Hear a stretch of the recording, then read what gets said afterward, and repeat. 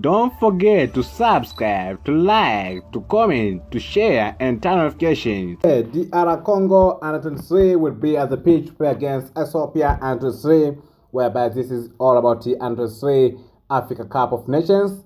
And we are in the qualification stage, whereby on Saturday of four. Remember, this is the second round match, whereby the first round match ended with a result of 0 0. There's only formation for two head match, whereby in those two head matches, the Ethiopia under 23 managed to win in one game, and there's one draw, whereby there's one fan international match and one Africa Cup of Nations match. Last matches for DR Congo under 23 in the last games, DR Congo under 23 managed to draw in two games, losing six games, bad performance, whereby there is two Africa. No, there is one friend international match there is two under 23 Africa Cup of Nations match, and there is two CECAFA Championship matches.